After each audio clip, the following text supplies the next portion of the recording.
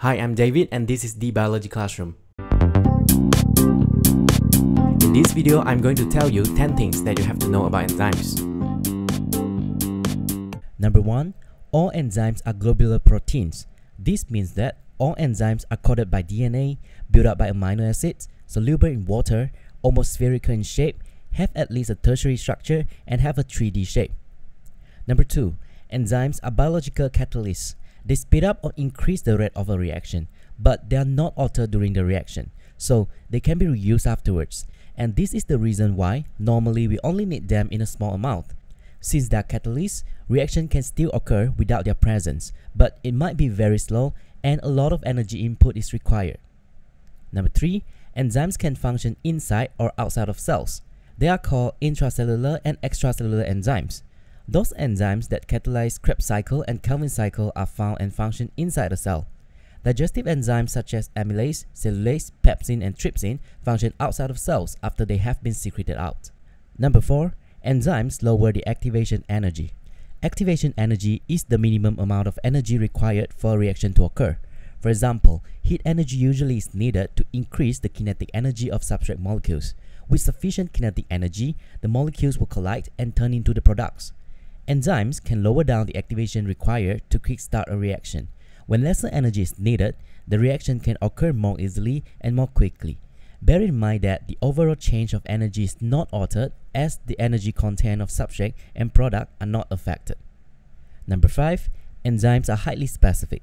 The small portion of an enzyme which combine with its substrate is called an active site. It is complementary to the shape of its substrate.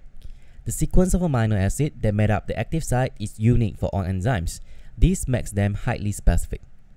When substrate combines with the enzymes at the right orientation, which is known as effective collision, ES complex or enzyme substrate complex is formed. Reaction occurs and product is released. The active site is then free to combine with another substrate. Number 6. The mode of action of enzymes can be described in two models. The first one is the lock and key model. Substrate is the key and enzyme is the lock. The shape of the key fits precisely to the lock. This is not quite accurate because enzymes are not rigid. The second model is the induced fit hypothesis. It says that the shape of active sites are not exactly complementary to the substrate. They change in the presence of a specific substrate to become complementary. When effective collision occurs, the active site of enzyme changes slightly so it fits to the substrate. Then the reaction occurs. Number 7. The progress of an enzyme catalase reaction can be investigated by two ways. First is to measure the rates of formation of products. For example, the rate of H2O2 decomposed by catalase can be calculated by collecting the oxygen formed over time. Secondly, you can measure the rates of disappearance of substrate.